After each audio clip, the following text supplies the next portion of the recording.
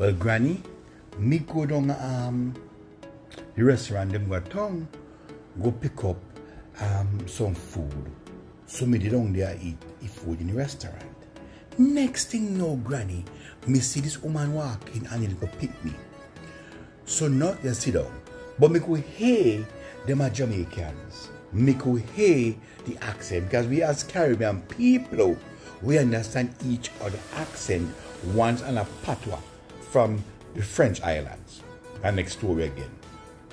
So then now, Granny, me order me um me pillow and ask the woman to give me a cup of pineapple juice.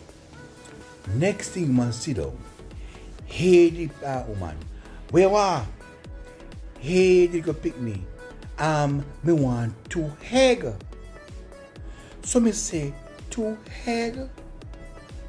Girl and say, You're too crepe. No. Let me give you the meaning of these two Jamaican words.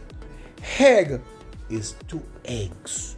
Jamaicans, when they find a letter, start, no, a word start with the uh, letter E, they automatically add on a H. So egg becomes egg. So you pick in one, two egg. But in Jamaican dialect, they say egg. So then when they say, mama say to the um, little girl, you're to crave. Crave in a Jamaican mean licorice, greedy, gluttonous. So in Jamaica, they add on and they take off depending on what word the let what letter the word starts with. But in the Caribbean, our, we understand each other and our dialect is so sweet in the, in, in the Caribbean. Because listen, if you hear a white post coming our vicinity, and we we attack most of our words are English words, and if we don't want them to understand, we speed up our speech. And and listen, up, they wonder what language I But I talk fast, fast, fast, and fast, and the last about thing I was there, I was like, well, on so alright. So, okay.